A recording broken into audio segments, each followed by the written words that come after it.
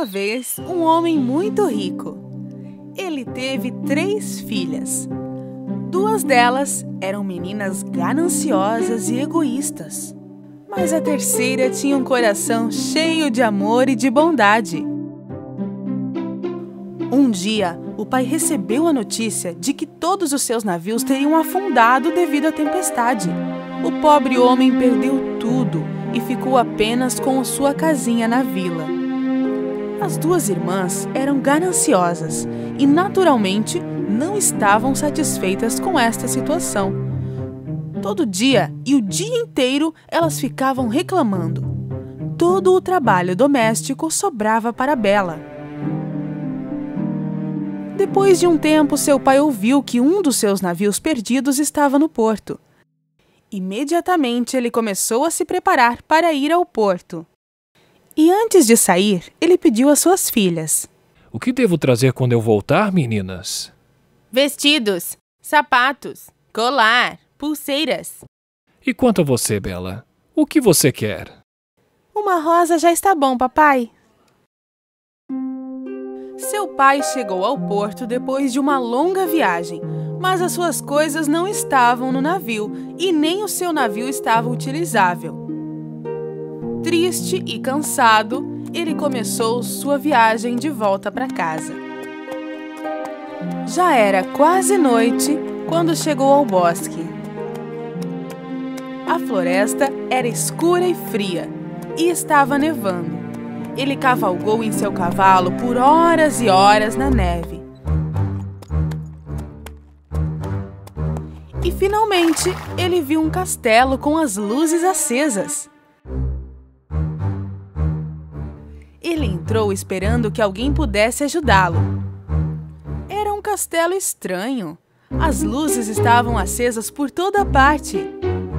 A mesa de jantar estava cheia de comida e havia fogo na chaminé. Mas não havia ninguém à vista. Ele chamou por alguém, mas ninguém respondia. Por fim, não sendo capaz de esperar mais, ele primeiro comeu um pouco de comida da mesa e então ele dormiu em uma das camas. Quando acordou pela manhã, ele encontrou algumas roupas novas ao lado da cama. Ele desceu as escadas e um bom café da manhã estava esperando por ele na mesa. Este castelo deve pertencer a uma fada, ou ela não iria me ajudar. Eu gostaria de poder agradecê-la. Quando ele foi saindo do castelo, notou o jardim de rosas eu não poderei conceder os desejos de minhas outras filhas, mas pelo menos eu posso fazer o desejo de Bela acontecer, pensou consigo mesmo. Assim, ele pegou uma rosa. Ele ouviu um rugido alto que tremeu tudo em sua volta. E atrás das árvores surgiu uma besta que parecia um leão, com um olhar malvado. O pai quase desmaiou quando viu a besta.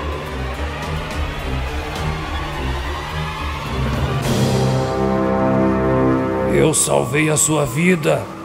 Eu te alimentei. Eu te dei roupas novas. E você está roubando minhas rosas. É assim que você me agradece? O homem ficou de joelhos e suplicou-lhe. Disse que ele queria levar uma das rosas à sua filha. O que você fez não ficará impune.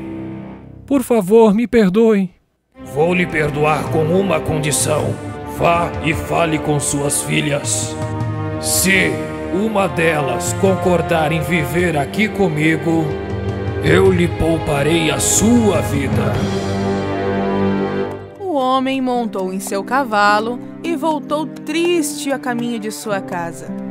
Quando chegou em casa, as duas irmãs gananciosas ouviram a horrível história que seu pai contou e nem ouviram a proposta da besta mas Bela não se comportou como suas irmãs. Papai, se você me permitir, eu aceito ir morar com a besta. As duas irmãs imediatamente aceitaram a sua proposta, porque elas achavam que tudo o que aconteceu foi culpa dela. Triste e sem esperança, seu pai pegou Bela e levou-a ao castelo. Quando eles chegaram, tudo estava como antes. A comida estava sobre a mesa e não tinha ninguém por perto. Assim, eles sentaram-se e começaram a comer. A besta apareceu. Bela começou a tremer por causa do medo, porque o animal era tão assustador como seu pai havia dito. A besta perguntou com uma voz suave: Você veio aqui por vontade própria? É, sim. Amanhã pela manhã o seu pai irá embora e nunca mais voltará. Quando Bela acordou de manhã, já sabia que o pai tinha ido embora. Na mesa, ela encontrou um bom café da manhã à sua espera. Ela passeou pelo jardim por um tempo e sentiu-se triste quando olhou para as rosas.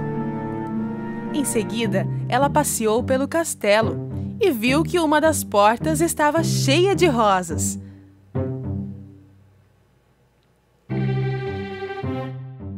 Ela abriu a porta e entrou. O quarto foi decorado como ela gostava e estava cheio de livros, flores e instrumentos musicais. Ela pensou que se alguém providenciasse uma sala como essa, não seria nada mal. Então ela viu um livro. O livro estava escrito em letras douradas. Minha rainha querida, seu desejo é uma ordem. Eu gostaria de poder ver meu pai. Assim que Bela acabou de falar, seu pai apareceu no espelho. Bela ficou tão surpresa. Ver o pai a fez feliz novamente. Naquela noite, Besta apareceu no jantar novamente. Você me deixaria te ver, Bela? Você é o dono daqui. Por que você está me pedindo isso? Não. Este castelo é seu agora. Se você quiser, posso sair imediatamente. Bela ficou muito surpresa com a resposta. Quero te perguntar uma coisa. Você realmente acha que sou feio? No início, ela não sabia o que dizer. Então ela levantou a cabeça, olhou para a besta e balançou a cabeça, dizendo que sim. Você se casaria comigo? Nessa hora, Bela respondeu duramente: Besta ficou triste e deixou Bela sozinha.